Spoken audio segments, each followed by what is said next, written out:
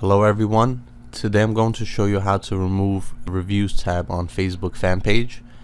So all of the articles I've seen online are telling you to do it the old way, which is by going to settings and then templates and tabs and then turning off the review tab, but that no longer works because of the new Facebook fan pages. So what you want to do is go back to your profile page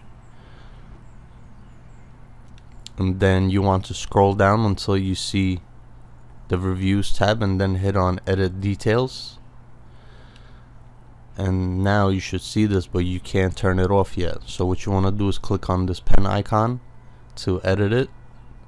Then you want to scroll down until you see the ratings I mean the reviews and then you want to click on edit here. And then you want to turn off this tab. Allow reviews on your page? No don't allow reviews so let's go check it out now. Reviews is here but let's refresh. This page is not available now so it has removed the reviews tab. It's not here anymore. Alright guys if I've helped you please subscribe to my channel. Thank you very much